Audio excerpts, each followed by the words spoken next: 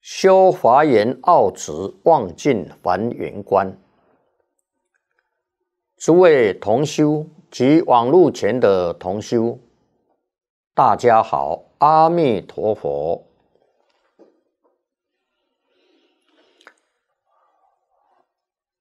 上一次我们学习到逆流时心的第六发菩提心。今天这一堂课啊，我们继续来学习逆流时心第七断二修善，发菩提心啊，这个在《观经净业三福》第三福啊，第一句就是发菩提心啊，深信因果，读诵大圣，劝进行者。那么断恶修善呐，跟深信因果啊有很密切的关系。如果不能深信因果，也很难做到断恶修善。啊，这个断恶修善呐，做的也不圆满。所以这个逆流时心呐，第一个就是深信因果。那么发菩提心跟深信因果啊，也是有很密切的关系。啊，菩提呀是觉悟的意思。啊，一个人真正觉悟了，啊，他才能够啊深信因果，深信因果才能断恶修善了。啊，所谓啊。诸恶莫作，众善奉行。戒律的精神就是这两句：诸恶莫作，众善奉行。那么断恶修善呢，在佛经讲的很多啊。如果没有读很多佛经啊，那么这个我们一般呢。大概知道的啊，就是这个十善十恶，断十恶修十善。那么十善十恶呢？啊，这一个纲目啊，这个纲啊，还有细目啊，下面还有详细的一些科目。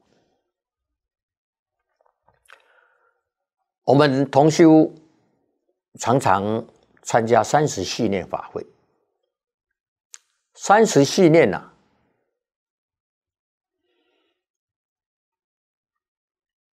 这个每时都要唱一遍呐，忏悔记。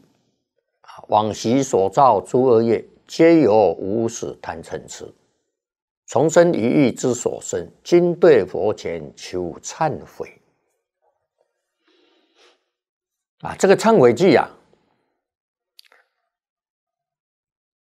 往昔所造诸恶业。啊，从现在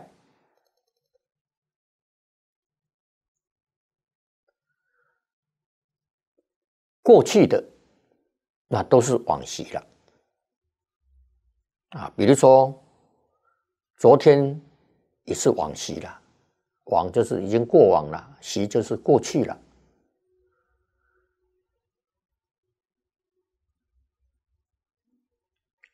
啊，也就是说啊，现在那么过去的这些时间里面啊，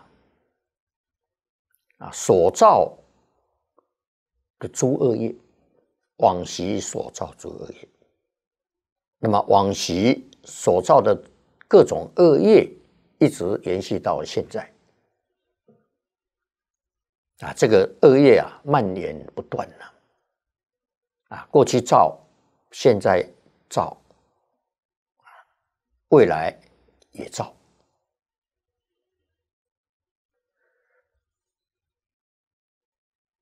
那么现在正在造的，啊，或者还没有造，那将来呢是还没有造了，啊，所以这个诸恶业呢，就主要是讲啊，已经造了，啊，已经造过的，所以往昔呀，啊，往昔就已经过去啊，有造了各种恶业，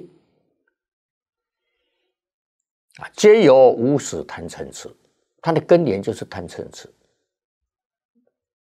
啊，恶业很多，那根源呐，都是从贪嗔痴发展出来，啊，从生与欲之所生，啊，这个十善十恶啊，我们的行为啊，就是这三大类：身体的行为，啊，身体造作，啊，杀盗淫；口的行为，妄语、绮语、两舌、二口。意的行为贪嗔痴，啊，这称为身口意三业造作恶业。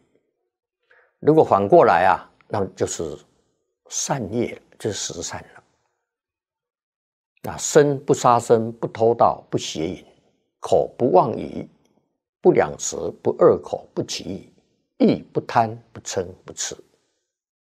那十二业反过来啊，就是十善业。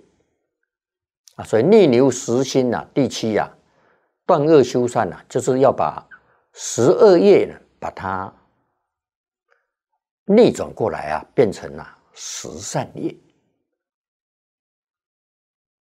啊。那么断恶修善，经典讲的这个十善十恶是一个总纲领了。那么详细啊，大家可以读《太上感应篇》。啊，那么《太上感应篇》有积善章啊，诸恶章，那列出来啊就很详细了。那另外呢，一部《了凡四训》啊，改过之法，改过就是断恶啊，积善之方就是修善啊，教我们怎么认识善，怎么修。啊，所以这个也是要学习的啊，我们才认识啊什么是真正的好事啊，也才能啊真正啊去修善事，去做善事啊。如果对这个善啊认识不清楚啊，往往把假善当作真善。啊，那造恶业自己不知道啊，以为还做了很多好事啊，所以这个了凡四训啊，也是一部不可缺少的宝典啊。这个印光祖师提倡的了凡四训、太上感应篇啊，再来呢就是安世全书啊，清朝康熙年间呐，周安世居士他编纂的。啊，引用啊这个儒释道三教经典来注解啊文昌帝君阴骘文。那么第二第二件呢啊，万善先知讲这个戒杀生的。第三呢，欲海回狂讲戒邪淫。啊，第四卷呢，西归直指，导归净土，啊，所以这部也是很稀有的宝典啊。印光祖师对这个《安世全书》啊，啊，这个评价非常之高了，啊，所以印祖讲啊，这部书啊，可以作为啊传家宝典了，传给子子孙孙了。那么这个三部书。都讲断恶修善，深信因果。断恶修善，首先要深信因果，要认识因果啊，认识什么是善，什么是恶啊。如果善恶是非颠倒，就变愚痴了，就造恶业了。这个不能不知道。啊，所以经典是我们断恶修善的一个标准啊。印祖提倡这三本书，那么《十善业道经》啊，还有《占察善恶业报经》《地藏菩萨本愿经》啊，《大圣地藏十轮经》啊，我们现在读诵的《佛说大圣无量寿庄严清净平等觉经》啊，那么。二十四品、二十五品啊，讲到修十善啊，三十三到三十七品讲这个五戒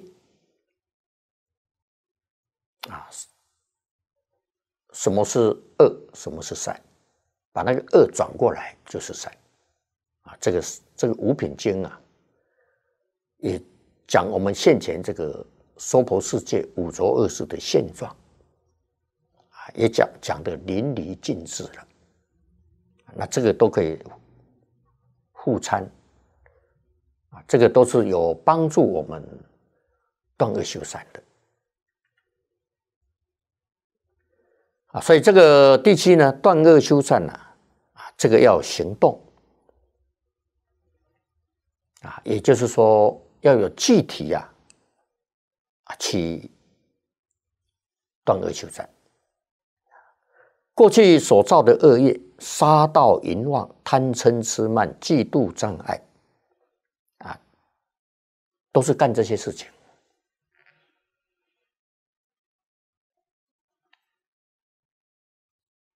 那么这个事情啊，自信里面没有的啊，一定要把它断掉。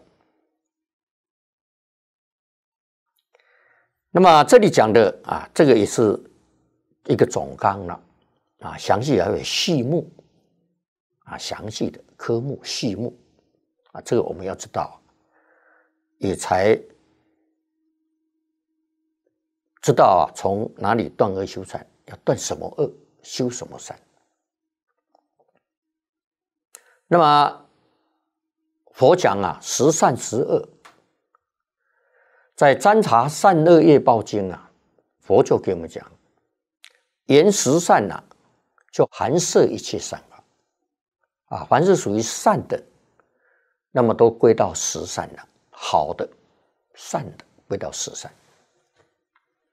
啊，凡是不好的、恶的，通通归十恶。啊，属于十恶所含摄的。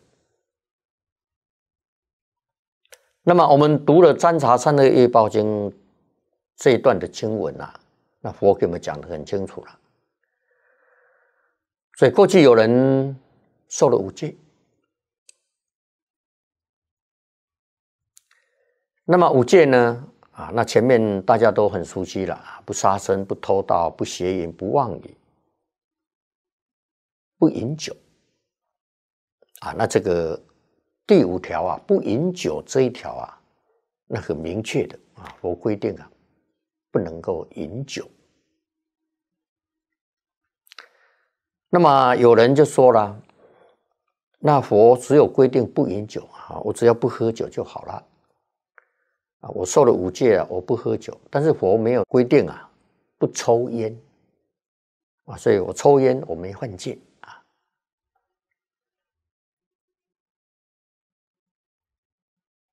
啊，我抽烟呢不是坏事。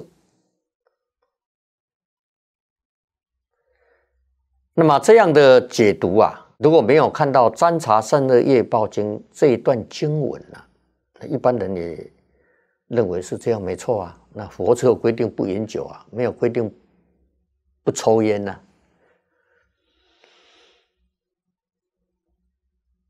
啊，所以啊，受五戒啊，啊，不饮酒就好了，那抽烟没关系了，抽烟没有犯戒。读了《占察善恶业报经》这段经文啊。啊，那我们就很清楚了啊。这个凡是不好的都归十二，好的都归十三。那抽烟好不好啊？饮酒乱性会失去理智，造出恶业啊，这个不不可以，这个不好。那抽烟好不好啊？抽烟也不好啊，空气污染，对身体也不好。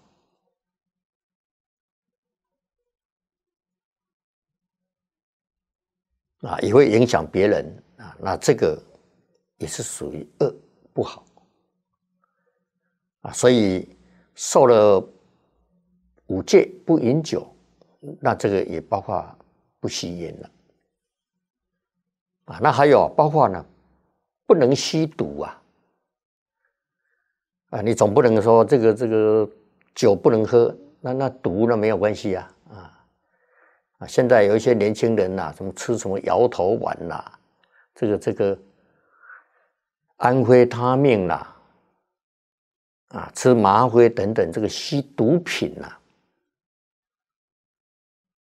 啊，那这个也会让人丧失理智的，啊，抽大麻啊，都能丧失理智的，啊，都是危害身心健康、危害社会的。那么，凡是这些呢，都属于第五条不饮酒戒这个范围了，属于这一条戒所含涉的啊。那只是一个酒来代表了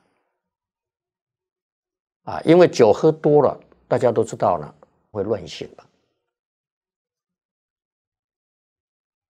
啊，那像现在这个酒驾，那全世界每个国家都罚的很重。那为为什么划的那么重呢？那喝酒也不是杀生啊，酒都是植物酿的啊。那为什么喝了酒啊？佛把它列在这个重戒啊。现在很多国家呢，啊，几乎所有世界上每一个国家呢，对这个酒驾，你酒喝太多了去开车啊，这都重罚的。甚至要判刑的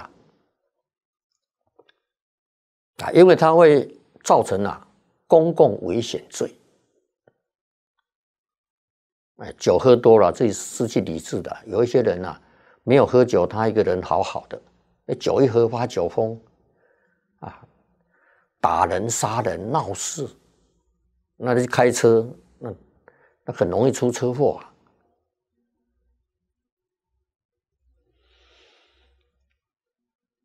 啊，因为他会丧失理智。那么我们看看吸毒的人，他会不会丧失理智？一样啊，啊，甚至更严重啊，比喝酒更严重啊。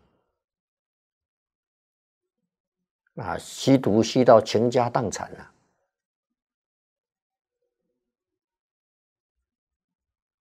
啊，损害身心呐。啊，酒这一条戒是属于。遮戒预防的啦，啊，他不是杀生啊，啊，也不是偷盗，啊，也不是邪淫，也不是妄语，啊，他本身没有这个罪，但是呢，因为你喝了酒，吸了毒，那你失去理智，你就会去造杀盗淫妄这个罪业了。预防你去造这个罪业。啊，那比如说你喝了酒，酒驾，喝酒酒的喝的醉醺醺，然后开车，那出车祸了，你把人给撞死的，啊，那这个是杀人呐，就杀生呐，过失杀人呐，那就犯了这个这条戒了，啊，所以酒它不是。性罪，它是遮罪啊，预防的，遮就是预防。那它本身是没有罪过，但是啊，呃，预防啊，你酒喝多了，你去造那些杀盗淫妄的罪业。哎，你没有喝醉酒，你不会去造。喝醉了，失去理智了，那什么事情你都做得出来。啊，所以佛才把这个酒啊列为重戒啊。不过这条戒呢有开源的啊，你喝的不醉啊，好像现在这个酒驾测这个酒精的成分啊，它也是一个限度啊。如果很轻微的啊，那个也就没有关系啊。但是呢，你很重的，你会让你精神恍惚了，那个就不行了啊，这个就要滑了啊。所以在五戒象经煎料里面呢，酒这一条戒它有开源。啊就是一个是药用，非酒莫疗啊，就是这个药啊，必须有酒做药引啊，没有用酒，它这个这个这个药啊起不了作用啊，这个身体啊治病的需要啊，那这个是可以的啊，像过去我们敬老和尚啊，在讲席当中常常讲。啊，年轻的时候刚学佛，啊，常常到寺院，啊，看到这个老和尚七十几岁了，他每餐呢喝一小杯的酒，他觉得很奇怪，其实出家人不是不能喝酒吗？啊，后来到台中莲社啊，亲近雪如老人了，啊，啊他就把这个问题啊向雪如老人李老师请教了，一些。年纪大的老和尚为什么吃饭的时候啊，他喝一小杯的酒啊？那么李老师就给他讲啊，他说他那个是当药用的啊，因为年纪大的人呐，血液循环呐就不如年轻人了啊，所以他一餐呐，每一餐吃吃饭呐，喝一小杯，帮助他血液循环好一点。啊，老年人啊，那有一些老年人他怕冷啊，喝一点点补酒啊，那个是这个是等于是当药用的了啊，不是喝着玩的啊，喝到醉醺醺的，然后到处闹事，那个就犯戒了啊。那么在僧团里面呢，这个戒的开源呢，就是博众方福。博就是说，你要跟大众注重报告了啊，那你你为什么要喝酒呢？啊，你要喝多少？那什么时候喝呢？啊，比如说药用啊，要跟大家报告啊，那我这个是当药用的啊，那不是喝着玩的啊。那么大家看到呢，啊，你是真的是当药用的啊，那不是呢，没事啊。贪杯啊，那个喝的醉醺醺的啊，啊，那大家同意了啊，那这个也就是一个开眼啊，那他就不叫换戒了，开眼啊。另外呢，做菜啊，在五戒象征煎料啊，做这个菜，这个菜啊当中放料酒，特别我们吃素的人呐。都是蔬菜，那有一些蔬菜啊，那个性质就比较偏寒啊，像大白菜啦啊、萝卜啊这一类的啊，那个是比较寒凉的菜所以有时候做菜啊啊，加点料酒啊，这个。啊，减低它这个凉性啊，就综合一下。那喝了呢，你不会醉啊，不能加太多啊。那加太多呢，喝了那跟喝酒一样啊，喝的脸红红的啊。这个如果开车的话呢，肯定被处罚了啊。啊，这个五戒。从这个小圣的戒来讲啊，但这五戒也有大圣的戒啊。那么大圣的戒跟小圣戒开源，它的定义又不同了啊。因为小圣的戒呢，它是属于止持戒啊，止持就是要求自己的禁止的。那么大圣的戒呢，有止持有坐持。啊，但小圣戒也有子持，也有坐持，但是他这个子持跟坐持，通通是针对自己。啊，大圣菩萨戒呢，他的子持坐持啊，持啊是对自己，也对别人；坐持啊，也对自己，也对别人。啊，因为菩萨呢，发愿呢，要行菩萨道，啊，要自行化他了。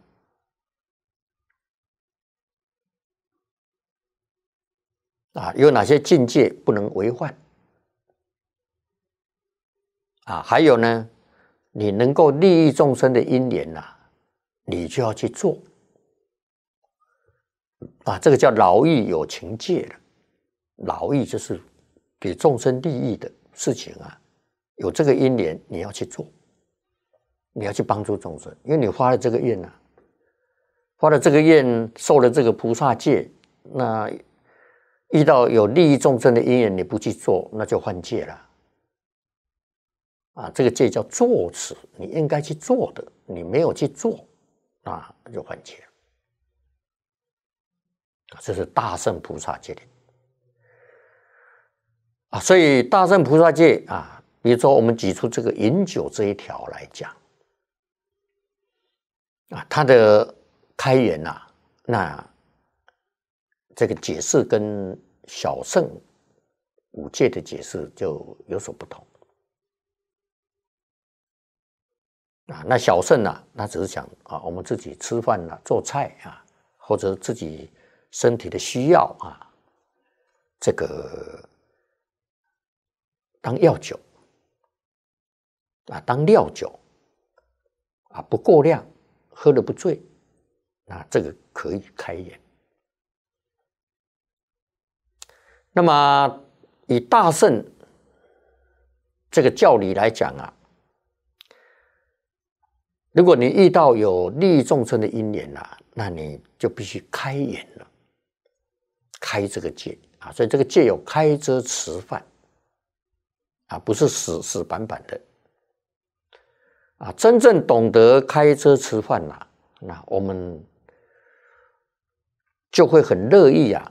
去受戒去持戒了啊！原来佛定这个戒啊，那不是宗教式的戒条啊，啊，它是合情合理合法了，活活泼泼啊，啊，不是我们想象中那么死死呆板那么恐怖啊！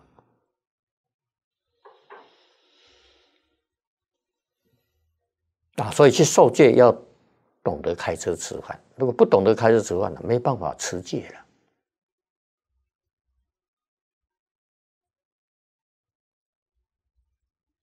啊那么大圣的这个开言啊，我们也提出，我们敬老和尚啊，在很多年前呢，他在讲习当中也讲过啊，这个总总有二十二十几年前的事的往事了啊。有一次他到北京啊，呃，那个时候这个黄念老还在。啊，这个这个总有三十年了啊，三十年应该有了。啊，黄念老还在，啊，黄念老是九二年呐，一九九二年往生的，啊，这九二年之前呐，这三十年前呐，他这个，哦，大概有两三年的时间呢，常常到北京去看黄念老。那么有一次到北京去住一个宾馆，一个饭店啊，那个也大概是五星级的啦。啊，那么在一个偶然的机会啊，这电梯啊碰到一个老同修，啊，这个同修是大陆的同学，啊，好像在美国认识的啊。那么他的儿子啊娶一个日本的小姐。那么在电梯当中不期而遇啊，碰到了，那这个这个老居士很欢喜啊，哎呀，这里碰到净空法师啊，碰到师傅啊，很欢喜啊啊，今天是他儿子大喜的日子啊。那在电梯碰到了，啊，就马上就邀请了。那晚上啊，请师傅来给给我儿子媳妇啊啊做个证婚人呐。啊，跟大家讲讲讲几句话啊，证婚人。啊，那我们师傅上人呐，一口就答应了。啊，但是那个临时的，临时的呢，那一天碰到了，啊，那也没有准备素菜，啊，所以参加那个宴席啊，大概也只能吃路边菜了，啊，而且当证婚人啊，那还要啊，啊，倒一杯酒啊，跟。呃，新郎新娘的啊，这个这个父母啊，那跟着的来宾呐，敬酒啊。那么当时接受邀请的哦，那宴会很很大了啊，邀请这些高官呐、领导啊来出席。那日本方面呢，女方啊，那么也有这些。有头有脸的人呐，都来参加了，我的亲友啊，所以我们师傅遇到这个因缘呐，机不可失啊，这个机会不能让他失去啊。啊，平常啊，你要找这些人来跟他讲几句佛法，那不可能。今天这个因缘呐，太殊胜了啊，因为当证婚人。他要致辞啊，啊，讲话啦，啊他就在致辞当中呢，把这个佛教介绍给大家了，啊，让大家对佛教有一个正确的一个概念了，啊，这个就把佛法弘扬出去了，啊，平常你要找这些人到哪里找啊？你请他也不会来，啊，今天这个因缘太殊胜了，活菩萨安排。啊，所以跟大家敬酒，他老人家也跟他喝啦，啊，当然那个酒不是很多了，喝了一一小杯啦，啊，那这个这个叫开眼，这个是大圣戒的开眼，啊，因为要利益众生呐。那如果他老人家当时，哎呦，我这个持不饮酒戒，我不能参加这个宴席，啊，那么那一次啊，跟这些。高级领导啊，这些外国的贵宾呐，就没有缘呐，去给他介绍佛法了，这个机会就是就丧失掉了。啊，也就是说，饶益众生的因缘呐，你不去做，这个也是犯戒了。啊，这个叫犯了作持戒，你应该去做的，你你没有去做。啊，那么在那样的情况啊，那你要开眼，你才有办法去利益众生啊，把把佛法介绍给众生啊。啊，如果你不开眼呐，啊，你就坚持啊，我守这个戒啊，那你坚持守这个戒，只有守这个小圣戒，就守小圣戒，自利，那没有利他了啊。但菩萨戒呢，你要自利，也要利他了。利他也是自利啊，啊，所以同样是五戒啊，杀盗淫妄酒啊，小圣的五戒跟大圣五戒，它开眼也有不同啊。那么大圣菩萨戒呢，就是对众生有利益的，那你就必须开了啊，你你要去帮助众生了。啊，如果有这个因缘，你不开戒，你去帮助众生，那也是犯戒啊！啊，不是说那个戒通通没有开就不犯戒，不是这样的解释啊。应当开你不开，也是犯戒啊！不应当开你开了，那当然是犯戒啊！所以在什么样的情况应当要开？啊，什么样的情况你就要持这个戒啊？你不持这个戒，那就幻戒了。啊，这些都要懂。啊，所以这个断恶修善呐，那么在佛门具体讲究五戒十善。啊，断十恶修十善。那么详细讲的经典就是《地藏菩萨本愿经》，啊，这个是讲因果的，讲断恶修善的。啊，专查善恶业报经，善恶啊，十善十恶啊，啊，大圣地藏十轮经，十轮就是十善十恶啊。啊，那其他讲十善十恶的经典很多。那么《十善业道经》啊，那当然是一部比较明确的，就是专讲十善。啊，那十善呢，反过来就是十恶了。啊，但是十善十恶啊，一展开，那这个层次很多了啊，从凡夫到成佛，也离不开十善十恶。啊，所有的戒，小圣戒、大圣戒，啊，出世间的戒、世间的戒，离不开十恶十善。啊，同样啊，是这个名称，这个名词啊，但是啊，层次不一样啊，层次不一样啊，那么它的解释定义也就不同啊。你在哪个层次，该怎么样的一个做法？这些我们统统要明白。那么目前我们要做断做从断恶修善开始啊，我们可以从《太上感应篇》啊，现在呢，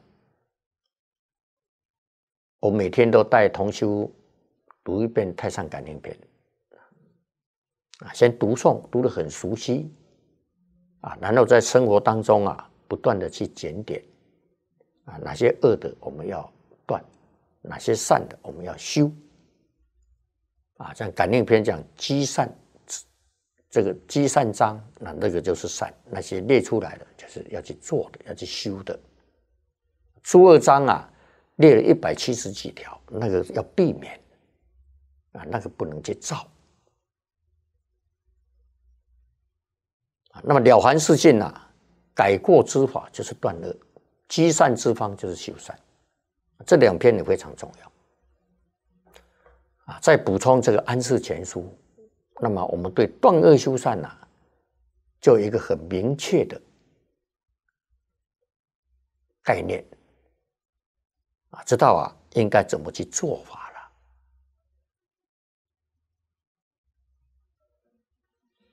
啊！所以断恶修善这个功课，也是我们当前呐的一个主要功课。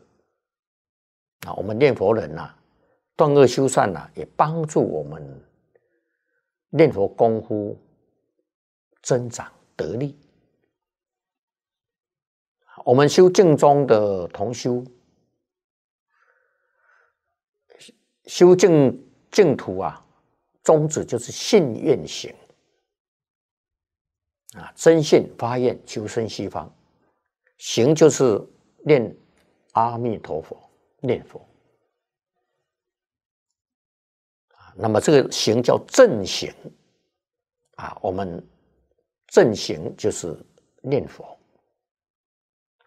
那么助行啊，就是这里讲断恶修善啊，这个是助行啊，助行啊，帮助我们这个念佛正行功夫得力啊，对我们功夫得力有帮助。那什么叫功夫得力呢？福祸就是功夫得力了！我们一般讲功夫成片，当个修善呐，帮助我们念佛达到功夫成片啊，这个很重要。那么以上讲这个断恶修善啊，那其他我们还有相关的典籍也要学习啊，像我们老上提倡的《弟子规》啦。那也是一个善恶标准啊，伦理道德啊，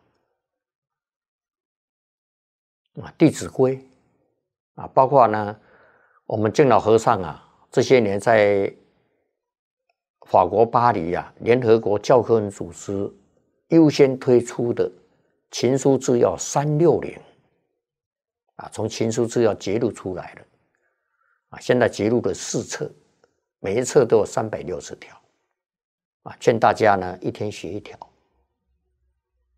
啊，现在我每一天呢也跟我们同修啊啊学习一条啊，这个也是帮助我们断恶修善。情书制药，《弟子规》，道家的《太上感应篇》，《了凡四训》，《安世全书》。那佛家的呢？啊，这个这个《吉凶经》啦，啊，还有这个过去写如老人呐编的这个《常理举要》，啊，这个《常理举要》啊，啊，也等于是一个借力的，啊，礼节啊，儒家讲礼。佛讲戒。啊，所以《阿难问世佛吉凶经》，佛给我们讲啊，弘从礼立。弘是弘扬，从是推崇、尊崇。啊，立呢是借力，借力威仪。啊，佛们讲借力威仪。啊，儒家呢讲礼，礼仪礼业。啊，所以《阿难问世佛集中经》，我跟你们讲，红从礼立啊，红从这个礼节礼业啊，这个礼啊，有三礼，有周礼、曲礼、礼记。那么李老师从这个礼记里面呢，揭露出常理举要啊，适合我们现代人来修学啊，这个也是一部很。重要的啊，我们也不能疏忽了啊，这个也是包含在这个断恶修善的范围啊，要学礼啊。另外一部呢，许如老人在九十二岁时候讲的《伦理讲记》啊，他没有讲完了就往生了啊。他讲的这一部《伦理讲记》啊，就是帮助念头同修啊提升功夫的。啊，那这个也是断恶修善的一个很重要的宝典啊。那这些书啊，我们都要学习啊。那包括呢，我们这里介绍多一点啊，像延寿药言呐啊，那这个也是可以普及化的延寿药言啊。还有这个菜根谭就比较深一点了，也很重要啊。菜根谭呐。啊，这个一篇序文呐，啊，这个这个通理法师啊写的，啊，有有有这个长老送给他啊，那么他他不知道他的意思，啊，后来历任了重要职事，做当家了，那整个身心都累垮了。啊后来呢，这个这个精神比较好的时候，才拿来看看啊，原来才发现了这本书啊，等于代替佛的戒律了，尽一力了啊。所以《菜根谭》这本书啊，也是非常好啊。另外就是格言联璧了啊，弘一大师讲的这个这个这个格言，他从格言联璧啊，揭露出格言别录。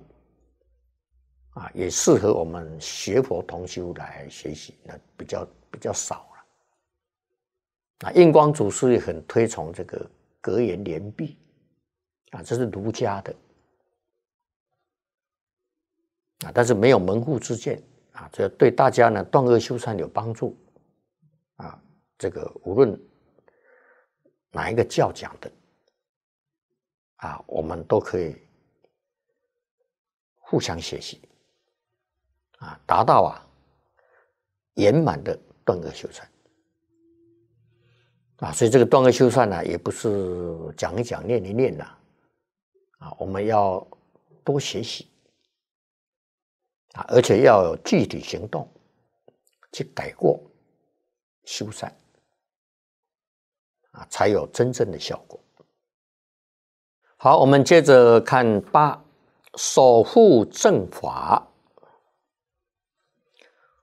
中国五千年来传统的文化就是正法啊，就是我们的道统啊。中国人口很多，幅员很广，五千年来啊，长治久安，礼义之邦啊，和谐社会啊，这个怎么造成的？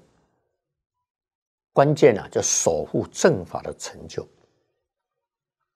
啊。儒是正法啊，这个儒从汉朝啊。刘邦建国啊，刘邦接受董仲舒的建议，在诸子百家呢推崇啊儒家、孔孟啊这一家啊，后来编这个四书五经、十三经啊，以这个儒家呢作为国家教育的根本基础啊，一个正统啊，儒是正法，道是正法，道是。道家啊，儒家代表是孔孟，孔子、孟子啊，他代表儒家。那道家的代表是老子、老庄、老子、庄子。那道家的经典呢啊，有这个这个《道德经》啊，《清净经》啊，还有我们现在呢读诵的《太上感应篇》啊，我们敬老和尚提倡的三个根啊。儒家的《弟子规》，道家的《太上感应篇》，佛家的《十三业道经》啊，那这个儒释道啊，这三个根都是正法。我们老上这些年都在推这三个根啊，所以这个儒释道啊，儒是国家一个规定要学习的教育，佛跟道呢？那是社会教育啊，担任社教啊，教化社会大众啊。那儒啊是国家办的主流教育，佛跟道属于社会教育啊，来补助这个儒的主流教育啊。所以历代的帝王啊，没有一个不护持的，没有一个不认真学习的啊。所以我们看到很多。历代的帝王对佛法、对儒释道都通达。你看最近的，就是这个乾隆、雍正啊、康熙啊这些，对佛法都很通达。特别是雍正，他是开悟的啊，他不但通达，他还开悟，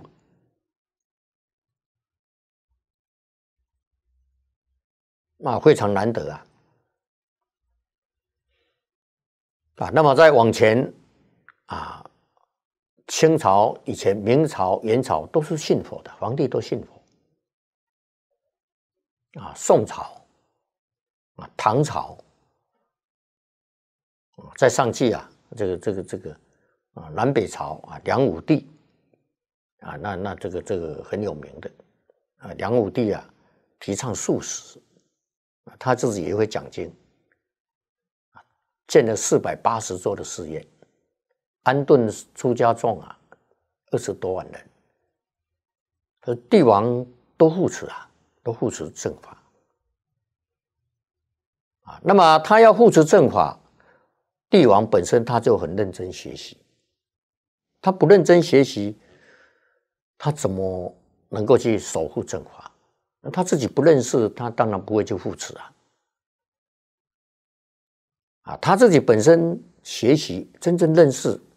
这儒释道啊，真的是安邦定国啊啊，这个修身齐家治国平天下的宝典了。那要护持这个啊，国家才能长治久安呐。啊，他本身自己要学习，他才认识；他不学习，他不认识。不认识，当然他不会去护持。唯有自己真正认识了。他才会尽心尽力来守护正法，知道这个重要啊！啊，那么发菩提心、断恶修善，就是守护正法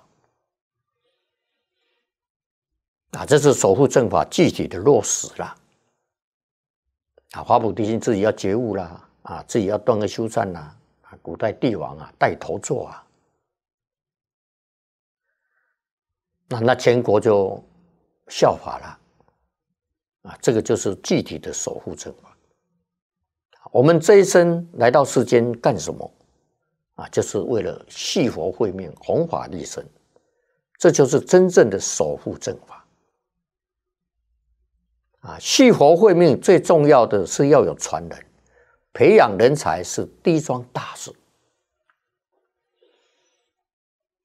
啊，像前几天啊，这个陈德法师也到我们台北双溪小竹来小住了五天。啊，我也跟他谈了很多。啊，也是谈到啊。这个续佛慧命，守护正法，要培养啊传人了，要接班人了。啊，我们老上，我们书上人今年九十六高龄了。啊，我自己也七十二岁了。啊，小小师傅二十四岁，也是老人了。啊，所以我现在的这个任务啊，就培养接班人啊，培养。下一代的这个传人了，培养人才啊，这个是我晚年呐第一桩大事了，要做的第一桩大事。那再来就是自己啊，念佛求往生西方了啊，这个是人到老了，要把这个列为啊主要的了，一个培养人才，一一个自己念佛往生的。啊，这守护正法啊，那么现在呢，要守护正法，必定啊，培养传人，培养接班人，培育这些人才啊，这个是守护正法。九念十方佛啊，我们遇到困难障碍，求谁帮助呢？求十方诸佛来帮助啊。求阿弥陀佛帮助啊！啊，我们一般讲求佛力加持啊！啊，中国人呐，信观音菩萨的人多，行啊，我们念南无观世音菩萨，求观世音菩萨帮助可以啊，跟念阿弥陀佛都可以啊，这个是很普遍的。啊，最近我们这个中华民国观音佛协会啊，啊，也在制作一一些影集呀，啊，就是寻找观世音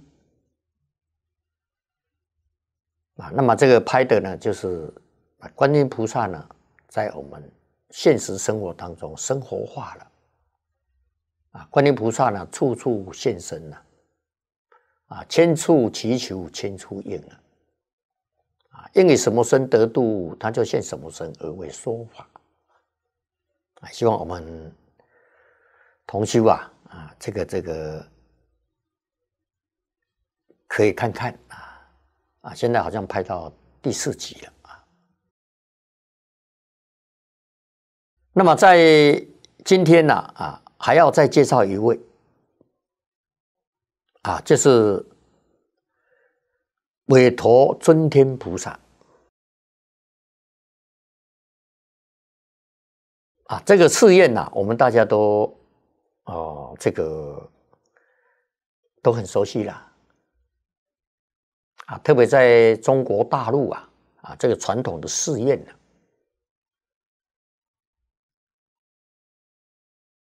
一进山门，我们第一眼看到是。